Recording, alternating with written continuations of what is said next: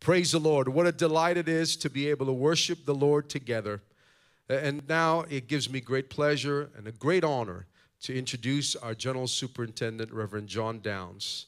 And before he comes and ministers, uh, we want to say how privileged and how blessed we are to have been led by a great uh, leadership and incredible leadership of Brother and Sister Downs over these last 21 years as General Superintendent, serving on the board for 41 years altogether. And this year, he didn't allow his name to run, and in essence, retiring from uh, his role on the executive board. But we know he'll continue to be involved heavily in the work of God. And so we are uh, so blessed, and we just want to say how delighted we are uh, for what he has left, the legacy that they have left. And uh, even though we cannot honor him, as it were, in person this year, next year at our next in person general conference in Canberra, we want to honor Brother and Sister Downs. So we want to make sure that you're there in attendance. Uh, but before he ministers, uh, there are some people uh, who have shared a few things that we would like to play to you uh, in honor of this great man and woman of God. Amen. Thank you, Brother and Sister Downs. We love you.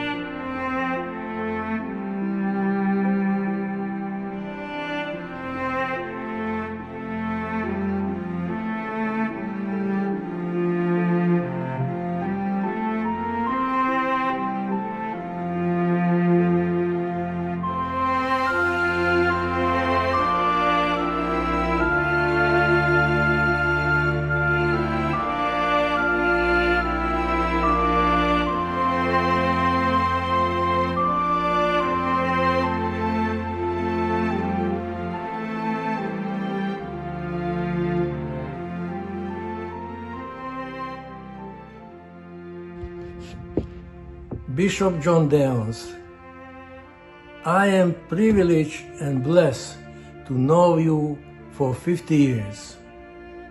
As leader, you have been a great example.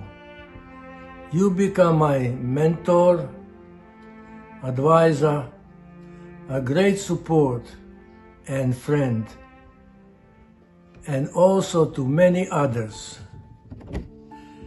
As our superintendent for 21 years, you led the UPC Church of Australia extremely well with the wisdom and love for the people with humble spirit. You left a great legacy. I always treasure you and Sister Downs. Thank you very much for everything you done for us. God bless you, Brother Downs and Sister Downs, and I really appreciate you. God bless. Loving greetings to all in the precious name of Jesus. We thank Him for His mercy, for making a way for us to be together in His presence. We're here to give tribute to our retiring leaders, our beloved brother and sister Downs. They have served us faithfully in the office of General Superintendent for 21 years, and we are so grateful to them for that. I met them about 1976 and found them to be sincere and gentle people. As the years went on, we became firm friends, and during my time as General Superintendent, Brother Downs was a great help to me. Brother Downs has been a dedicated man of God, strong in the apostolic truth. As a leader, he has been an example we have followed and trusted. During his time as our leader, we have seen the United Pentecostal Church of Australia grow to another level as he has faithfully followed God's leading. Brother and Sister Downs were truly anointed of God for this ministry and have proved themselves to be worthy of this position. Today, we honour them and express our love, gratitude, and deep respect for their devoted service to the work of the Lord. We thank God for His great wisdom in choosing them all those years ago. We wish them every blessing as they retire. May God continue to use them in His service. As we look forward today, let us stand loyally behind our new leaders in love and respect. In all things to God be the glory. Brother Jeff Holden. Today, as I greet you, there are a couple of people and their family that I've had the privilege of knowing for quite some time. That's Reverend John Downs and his wife Sue and their family. I've had the honor of being in their home, and I will have to say that they are some of the most gracious hosts that I've ever been, the, been privileged to be in their home. They took such good care of us. Also, Brother and Sister Downs are people that represent the church in such a first class way. They're the kind of people that you would be proud to take them before the president or premier of a country and let them know that they are your leader. Not only do they represent us well, but they are people that have had a vision to reach the lost. Brother and Sister Downs, along with the church in Australia, have been key in reaching many of the islands around Australia and around the world. They, are, they have given financially, they have trained people, they are people that really have been part of the Global Council. He was secretary of the Global Council of the United Pentecostal Church International and did a tremendous job. It's kind of a pioneer position because the Global Council is just developing, but he did a tremendous job. And I remember that there were some decisions that we made that were a result of his leadership. I honor Brother and Sister Downs, great people. The effect of their ministry will not just happen right now, but until Jesus comes and then in eternity, there will be people in heaven and there will continue to be people that will be saved as a result of their ministry. Congratulations on this retirement and may God richly bless you and keep you. On behalf of the entire worldwide family of the United Pentecostal Church International, especially Global Missions, we congratulate you and thank you, Brother and Sister Downs. Hi, Brother and Sister Downs. I've been asked to say a few words uh, briefly in relation to your the years that I've known you and now that you're stepping down. I have mixed feelings about it all because part of me has trepidation. I've sat under you for many, many years. And yet I understand that this is a new time for you, a time that you want to spend with your grandchildren and enjoy these years with your wife. You've been a wonderful, wonderful General Superintendent, and you have both given me some wonderful memories that time will never erase. Brother Downs, your courage in accepting and supporting me when I was elected as the Director of Overseas Missions. That was outstanding because I found out later that there were no women on board positions in all of America. So you were a trailblazer for Australia at that time. And it has made a great impression on me, especially when you asked me to accompany you to the Philip, um, where was it, Panama City for the global convention. I didn't really want to go because I knew that I would be the only woman then among all those delegates, and it was quite overwhelming. But you encouraged me, and you showed great courage and bravery in walking into that venue with all those men and just one old woman with you. You even walked to the front seats and sat there and introduced me to those men. I couldn't believe it. I mean, if it had been me, I would have sat on the back row, but you did not do that. Your kindness, your gentleness, your character, everything about you has displayed the gifts of the Holy Spirit as well as the fruits. When I asked you on a number of occasions to preach and teach when you were in Indonesia and East Timor, you never ever said you were tired or it was inconvenient, but you preached and you taught, often circumstances that required sacrifice, 100 degree humidity and almost 50 degree temperatures, both in Indonesia and in um, East Timor. You showed great courage, and I have you in the Hall of Fame and whenever I think about you, um, Brother Downs, I think of Dave's mighty men. You have set a wonderful example as a General Superintendent of Australia. And Sister Downs, what can I say? I mean, your example that you have set to our women um, has been wonderful. Tireless, great leadership, no respecter of persons. Your ministry, your kindness has been extended to everyone regardless of station. I have never forgotten your kindness to my sister Sarah when she accompanied me to Panama City and she didn't know anyone when she was left on her own with the women going to the canal. And she told me that you were so kind to her. Your ministry reaches out to everyone, Sister Sue. I thank you both, Reverend Sister Downs, for the years that I've been privileged to be under your leadership. You have set a high mark for whoever follows in your position. Enjoy your years of retirement, enjoy your grandchildren, and know that you have been outstanding in everything that you have done. Hello, brother and sister Downs. Good to see you changing direction. Hope you enjoy your change and your freedoms to be able to do what you always wanted to do, whatever that is. okay? My wife and I send you love and Yes. best wishes. God bless you all in Jesus' name. Amen. Praise the Lord, Australia. Thank you for allowing me this privilege to say something for our friend, brother and sister Downs, upon his retirement. When I think of John Downs, the first thing that comes to my mind is the word statesman. So I looked it up, and to be considered a statesman, you have to have four qualities. Number one quality is a man of bedrock principles. Number two quality, it states, is his life is a moral compass. And number three, it states he is a man of vision. And number four states not only he is, a, is he a man of vision, but he has the ability to motivate others to achieve that vision. I think you'll agree, me, agree with me that Brother Downs exemplifies this definition. Australia has seen consistent growth during these past 20 years that he has served as your general superintendent.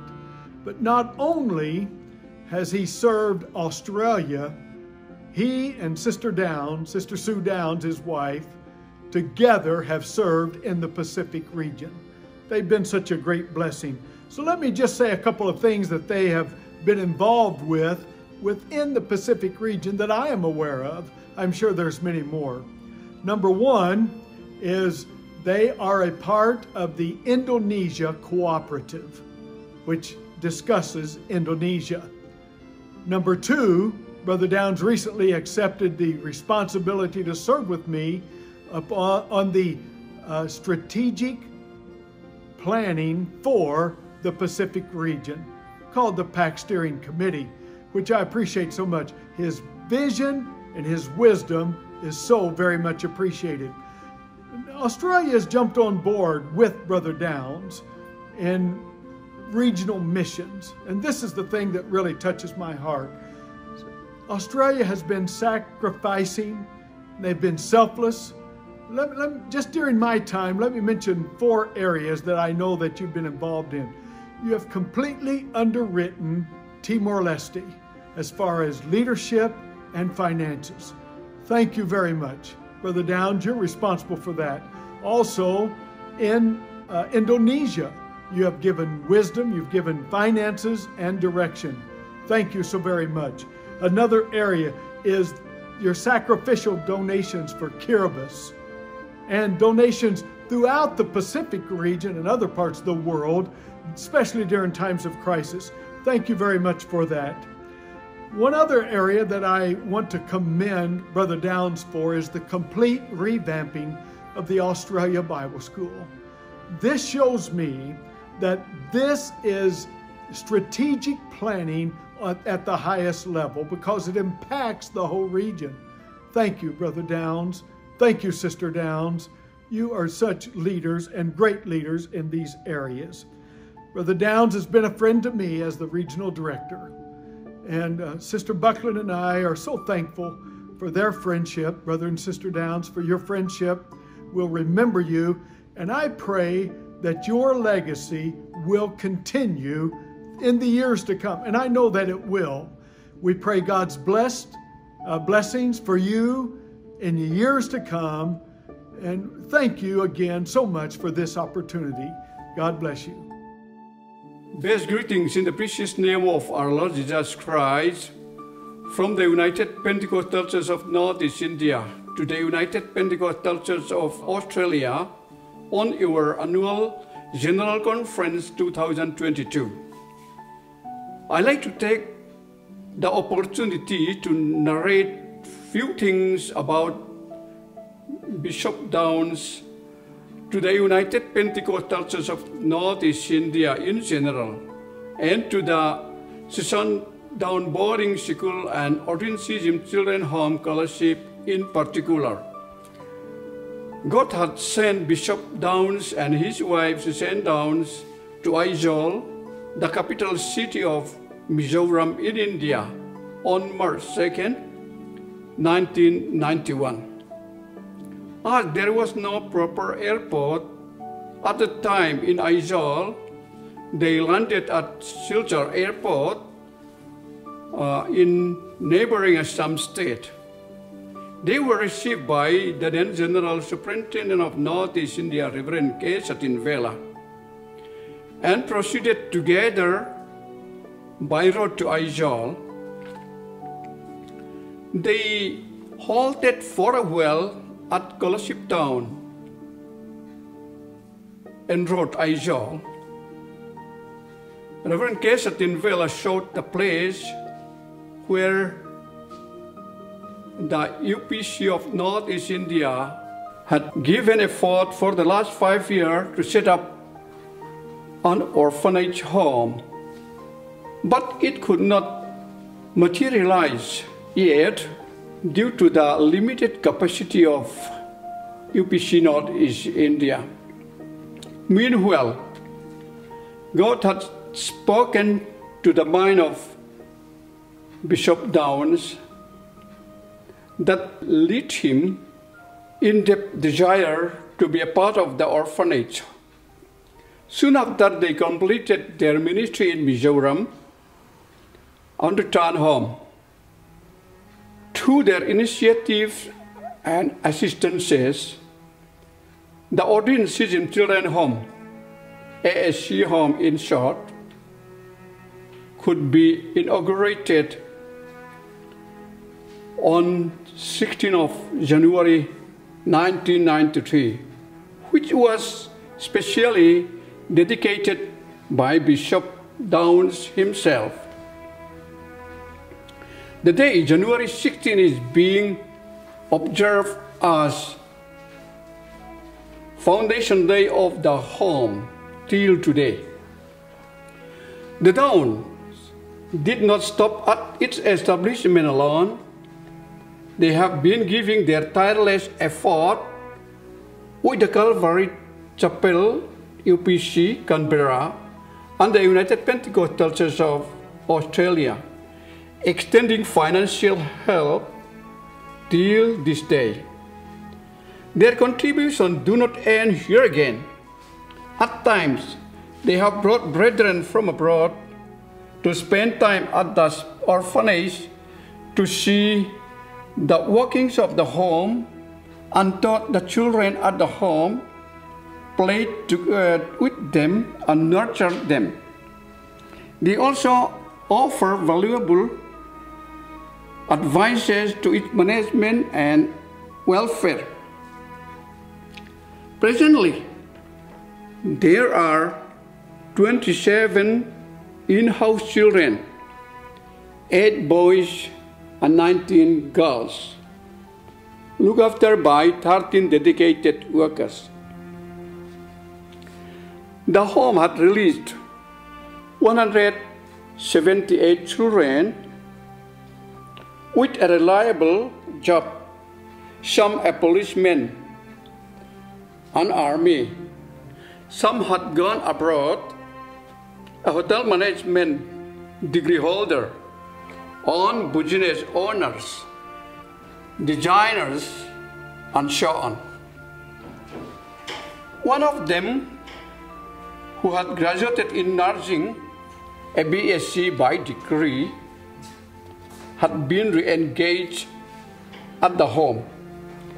The other who was trained at Industrial, uh, Industrial Training Institute was also re-engaged as an instructor at the home and looked after the iron and aluminum workshop within the home facility. However, having the orphans are looked after is not enough. They need to be educated and shown the path to face the reality of life. The children whom Sister Suzanne so loved and cared, same is the case by the children. A school Christian, Susandown Boarding School, SDBS in short, was then established on May 2, 2002, within the complex of the ASC. The school emanates education from nursery to class 10. Presently, there are about 450 students. The school is highly blessed by the Lord. It has seen results with flying colors at the state examination board and has been hailed as one of the, uh, the best schools in Kolasib district. The contribution of the Downs do not end here. They had given tireless effort to the United Pentecostal Church of Northeast India. The UPC of Australia and the UPC of Northeast India had seen inseparable bond. When the name of Australia is mentioned, Bishop Downs and Sister Downs are in the minds of the UPC, Northeast India. Because of the Downs, our people have great love Australia and its people. Bishop Down had been a speaker at the General Conference and District Conferences of the United Pentecostal Church of Northeast India. Many have received Holy Spirit and the ills were healed on the occasions. He had left many footprints and a legacy to the Northeast India with the many good deeds he had done. The UPC of Northeast India will never forget his contributions in the times to come. I have come to learn that Bishop Down have chosen to be relieved from his responsibility as a General Superintendent of Australia. Me and the UPC of Northeast India will really miss him. As a General Superintendent of the United Pentecostal Church of Northeast India, in particular, and on behalf of the United Pentecostal Church of Northeast India in general, I pay respect and offer our sincere gratitude to all that he had done for the UPC of Northeast India. My prayer being God bestow him with great health and long years of life. My best wishes in his entire endeavor in life. May God bless you all. Thank you. I had the privilege to work alongside Brother Downs for 27 years on the executive board, experiencing joy as well as challenges. I observed that Brother Downs, besides the desire to see many souls to be reached with the message of hope and salvation in Jesus, he strived by his teaching and ministry to see not only the ministers and leaders, but every soul affiliated with our organization to reach the point of spiritual and moral purity combined with the excellence of competence. There is no greater joy and satisfaction in the life of a messenger of Jesus Christ at the time of the changing of the guards than to look back and to be able to declare with the Apostle Paul, I have fought a good fight, I have kept the faith, and there is laid up for me a crown of righteousness. Thank you, Brother Downs, for your irrevocable love, dedication, commitment, and sacrifice, being a pillar in the house of the Lord. With brotherly love, Peter Takina. Greetings in the name of the Lord Jesus Christ from the world headquarters of the United Pentecostal Church International in St. Louis, Missouri, USA. I bring special greetings to the United Pentecostal Church of Australia and especially to Brother and Sister John Downs. We certainly appreciate your leadership over the years, Brother Downs.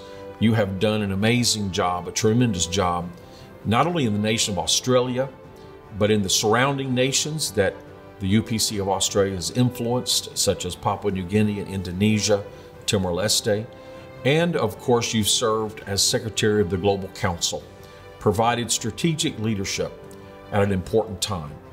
And of course, not only in the Pacific, but in India and Singapore and other places, uh, the Australian church has really made a difference. You've grown domestically, you've had great impact internationally, and to a great extent, it's because of the leadership of Brother John Downs.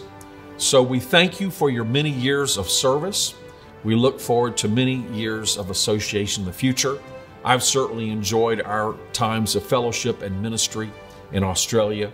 My wife and I appreciated your personal hospitality of you and your wife uh, in your home and showing us a few of the sights of your wonderful nation. So God bless all of you. Congratulations. And we look forward to many wonderful years ahead.